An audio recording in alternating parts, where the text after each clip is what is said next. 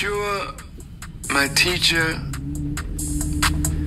is deeply concerned about what is happening in black America today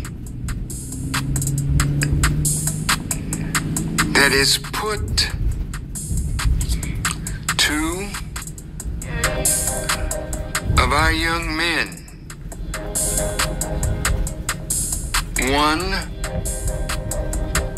a great basketball player, Kyrie Irving, and another brother who is called a rapper, but he's so much more than that. Brother Ye, and the controversy that is swirling around these two men that is causing, unfortunately, division among a people that can least afford to be broken more apart because of misunderstanding and unfortunately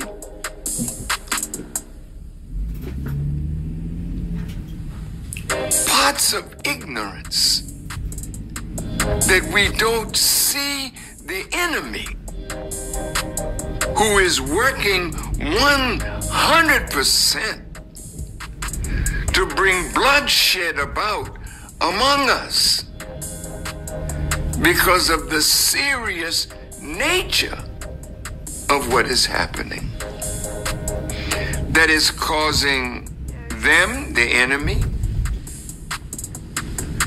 to use his influence on those of us who are on his payroll. And those of us who have been blessed to be connected to them could be a blessing, but it also can be a cursing. Because once the enemy puts his talons into you, he's reaching for your mind, but more than that, he's reaching for your soul to empty us and make us weak when we could be strong. And doing his bidding rather than manifesting the great love that God wants us to show toward one another. Ye is a lover, Kyrie is the same. But he wants to stand on a principle. And you see him standing, how intelligent he, are, he is, and the media keeps running at him with, why don't, why don't you say you apologize for this anti-Semitism? You did the same thing to me. I've tried to have meetings with you. Let's dialogue about this. You don't want to dialogue with me. You want to dialogue with somebody that you know you can put down because of the power you have over them by giving them a contract and money that you can take from them if they say or do anything that you don't like. This is the day of judgment and justice. These men don't want to be against you. These men are grateful. You brought them out of college and high school and gave them a contract. You gave them a contract because you saw their talent. Haven't they made money for you all? So now you sign them up. And then Adidas comes by and Nike comes by and gives them a lot of money that they don't see. You have them on a leash. And whenever somebody like Kyrie or Ye rise up and you don't like it, you pull the chain. So we run out and dog our own brother because he did something for a principle. You will too. Life is bigger than paper with a white man's image on it. Life is bigger than a nice house and a nice car and a lot of bling bling.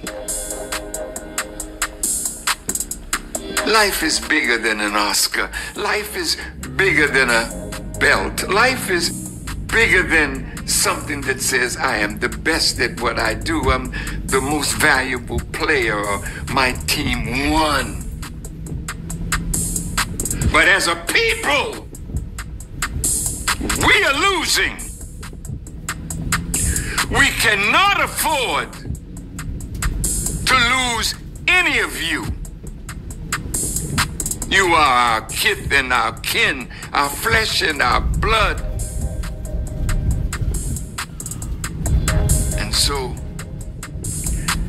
I wanted to say something to help us to come together rather than break apart because it's Ye and Kyrie today. But what they're doing to them is to make you, who are in the good graces of them, so you think. You see what we just did? Ye lost $2 billion in a few days. You might wonder, did he really have it? He lost that much that soon? You know when you signed a contract with him. I don't know what's in the contract, but you do. So evidently, Adidas and all the companies that Brother Kanye is signed to or was signed to until Mr. Ari Emanuel told everybody just drop him.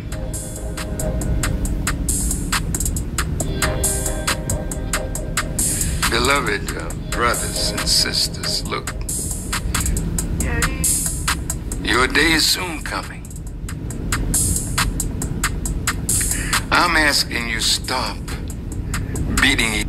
I'm gonna stop it there, man. I just wanted to hear what he was saying. This is an impromptu video. Uh, first and foremost, I want to give all honor and glory to Yahweh, Bahashem, Yahweh Shad, Bahashem Dash. Double honors to the elders and apostles of GMS who I learned from. Uh, shalom to the Hofa elect, which is word and truth and sincerity.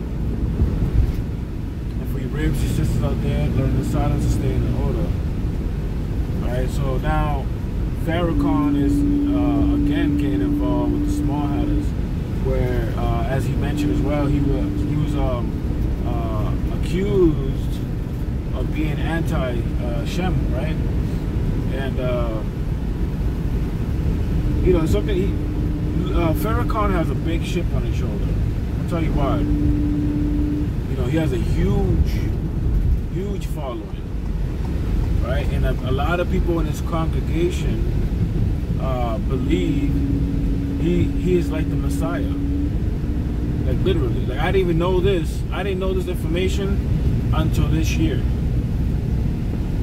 That his congregation looks at him as if uh, he was a Messiah. So he has a big chip on his shoulder, so does congregation. So I, I don't know. From the sound of it, he sounds like he can uh, take on Amalek. I don't know how or what, what kind of power he's he's purporting to have over uh, the system, right? That Yahweh Hashem Yahushai established. That he's trying to go against. You know what I mean? Uh, in whatever fashion, uh, it's not going to happen because Yahweh Hashem Yahushai ordained it to be that way. You know what I mean? The best we could do as a people is come back to the Lord and let Him fight our battles. Right? This man who claims to be uh, the nation of Islam, because there's no such thing as a nation of Islam in the scriptures. This is a made-up nation right? And uh, the leader who started uh, Nation of Islam was a so-called white man. If you look deep into it, you know, uh, Minister Louis Farrakhan said a lot of powerful things, but at the same time, just by looking at the dress code, right, and knowing that this man reads off the Bible, right, mostly, like you notice a lot of the stuff he says does not come from the Quran. He does not quote the Quran often. I'm not saying he doesn't know the Quran. I'm just saying that for the most part, he uses scriptures, right? But even in the Quran, I believe in the Quran, but in the scriptures, it says not to round out the corners of your beard. But this man got a smooth, smooth face right? With a bow tie, right? From what I understand, you know, uh, when I come across the information that the bow, the bow tie symbolizes uh, a man's nutsack, basically, and then that the tie is a is a phallic symbol, right? Whether it be true or not, you're dressing like them, right? And you're shaving like them. For what I believe is to look less menacing and to be taken serious in a political standpoint. But that's not going to save you, right? You wearing this suit and tie, Esau's still going to gun you down. It doesn't matter. You have no say-so in the system, right? Scriptures say, you know, make no other man your king unless it be from your brothers, right? Paraphrase. They got to be of your own tribe.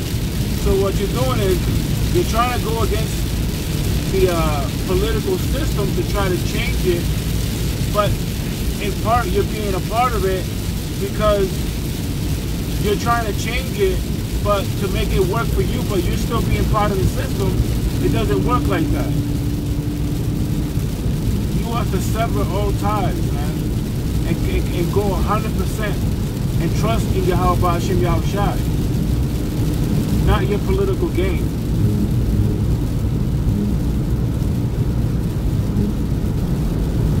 You know, the Lord Yahweh Hashem Yahushai is making all these moves to seal the elect, to fi finalizing, to sealing the elect and push prophecy. But doesn't mean that these people that are speaking are of the elect, although they could be, but it doesn't emphatically mean that. Just because they have influence and power and they and people are actually, uh, you know, getting involved more just because you know, the Lord Yahweh Hashem Yahushua is using these guys as vessels. That's all. And I guess this is big news because now Amalek is trying to move fast, quickly, because he knows what he got but a short time, right? They recently tried to press the uh, the, the documentary producer, I forgot the guy's name, uh, from Hebrews to Negroes, calling him an anti-Semite. He basically said the same thing of Kyrie Irving. That he cannot be anti-Semitic because he is Semitic. From what I understand, they was trying to cut a deal with him to try to basically sell him the rights to the uh, the film, but we already know what they're going to do with that. They're going to abolish it, but you notice how they're not coming after Amazon still. They're trying to buy his rights. They're not trying to take it down because they're making money off of it. And they they they they so confident that they're not even worried because all they got to do is pull the plug. They're gonna try to get the, the rights to it and then to destroy it after they made all the money off of it. Because the producer himself, I think he made over a million dollars off of it. Who knows how much Amazon made off of it?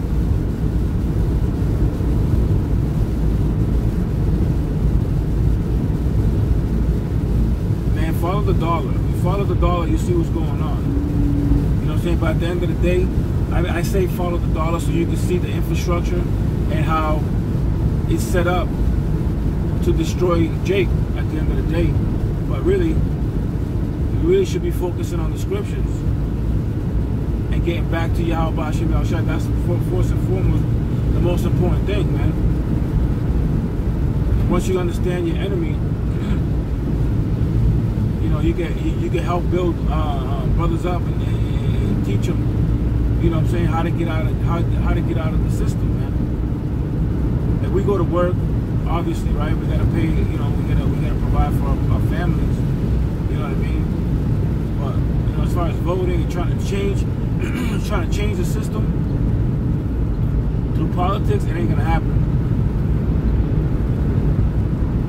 Yahweh Hashem Yahushua is our Redeemer. And we waiting on Him to come here and redeem us, not us redeem ourselves. So right now, all we gotta do is focus come back, keep the law, statutes, and commandments to the best of our ability until all the prophecies play out, which they're playing out really quickly. Following, right?